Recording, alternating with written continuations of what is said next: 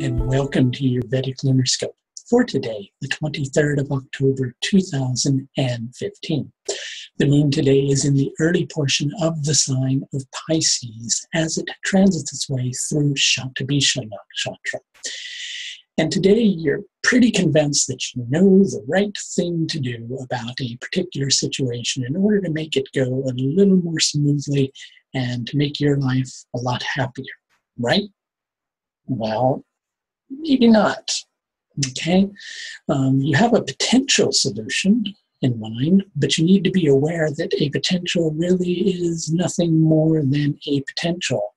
And you also need to be um, aware that the only thing that you're certain of really is that you're not really certain of anything. By all means, go ahead and proceed with the plan. It, it's worth a try, but you need to approach it with an open mind, not with a um, surety of confidence that it's going to turn out in a certain way, because there's likely going to be a couple of twists and turns. An exchange that you're hoping will go a certain way may actually take an unexpected turn. Not necessarily an unexpected turn for the worse, but just an unexpected turn. And due to that, you may have to make an adjustment or two as a result. So the best thing you can do is to be willing to rise above the frustration that you are coping with um, as a result of things not moving in the manner that you were perhaps thinking that they were. Cooperate, and any struggle that you're facing as a result of that will cease. Shatabhisha is a dharma driven nakshatra. And with Shatabhisha, we quite often get pulled in a certain direction, only to find that where we were going wasn't really where we thought we were going in the first place.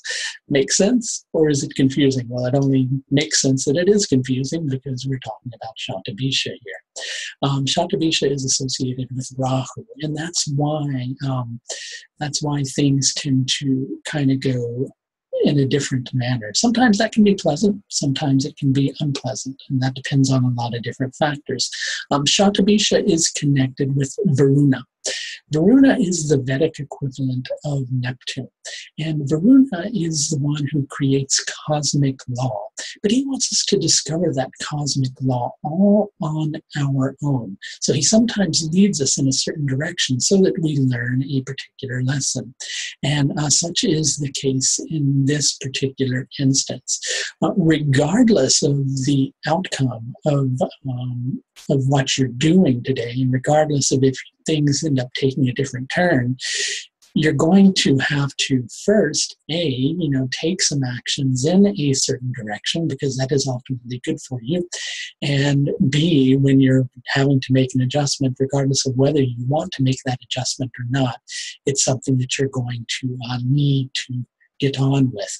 With Shatabhisha, it's very much about um, just doing something because it's the right thing to do, even if it's not something that is necessarily uh, bringing you happiness to do.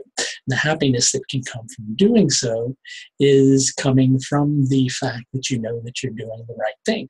But today you don't know if you're doing the right thing. You think you're doing the right thing, but you may not actually do the right thing.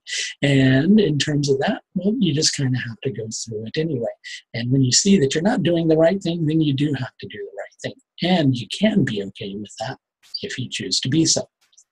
It's the 11th day of the bright half of the moon today. The lunar tithi is Shukla Ekadashi.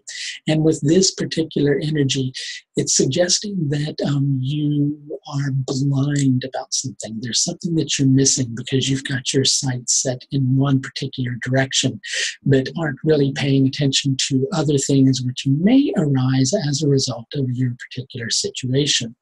The solar lunar yoga today is Vriddhi. Vriddhi means increase. And in this particular instance, it's about rising above the situation that you're dealing with, being able to witness it from a higher perspective, having insight about what is actually going on, and being willing to make the necessary adjustments that go along with that. If you're dealing with a situation with which you could use a little bit of extra assistance, I do offer several different tiers of astrological service. These are available through the astrological services page of my website. There should be a little eye above. If you click on that, it'll take you to my astrological services page by way of a small card that'll drop down in the window. Um, just to let you know, the nakshatra course, which will teach you about the nakshatras in general. And if you're an astrology enthusiast, teach you some techniques with which to work with the uh, nakshatras. And this is a course that I'm doing with fellow astrologer Ryan Kurczak. Well, that's going to be released within the next week or two. Uh, so you can look at the Vedic lunar scopes for further information about when this course will actually be available. That's going to do it for your Vedic lunar scope for today, the 23rd of October 2015. Until next time, please take the very best care of yourself. Bye now.